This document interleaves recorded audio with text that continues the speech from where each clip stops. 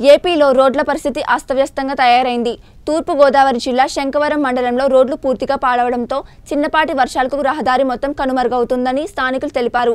శంకవరం నుండి కొత్తపల్లి మీదుగా వేలంగి వరకు వెళ్తున్న రహదారి పూర్తిగా గుంతలమయమైంది. ఈ రహదారిలో ప్రయాణించడానికి వాహనదారులు అనేక ఇబ్బందులు ఎదుర్కొంటున్నారు.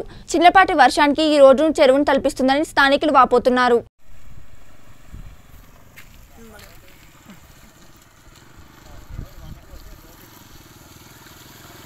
ఇంక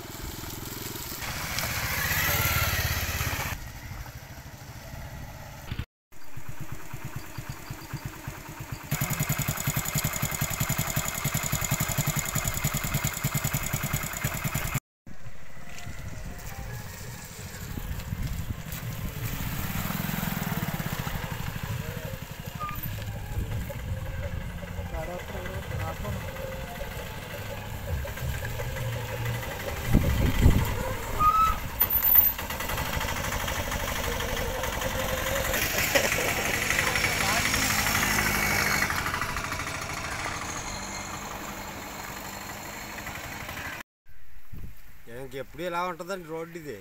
ఇంక ఈ బళ్ళ మీద ఏదో వ్యాపారం మీద అలా తిరుగుతామండి. ఏ ఊరండి మీది? వెంకటాపురం అండి. వెంకటాపురం. ఎన్ని సంవత్సరాల నుంచి ఉంది ఇలా రోడ్డు?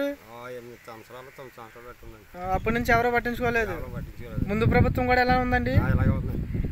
ఈ ప్రభుత్వం అధికారులైనా పట్టించుకుంటున్నారా? ఏమో అండి మరి మనకేం తెలియదు అదే ఇప్పుడు ఆడి ఎవరిని ఎవరితోనో చెప్పడం కానీ ఏమైనా చేశారా? ఏం చెప్పలేదండి.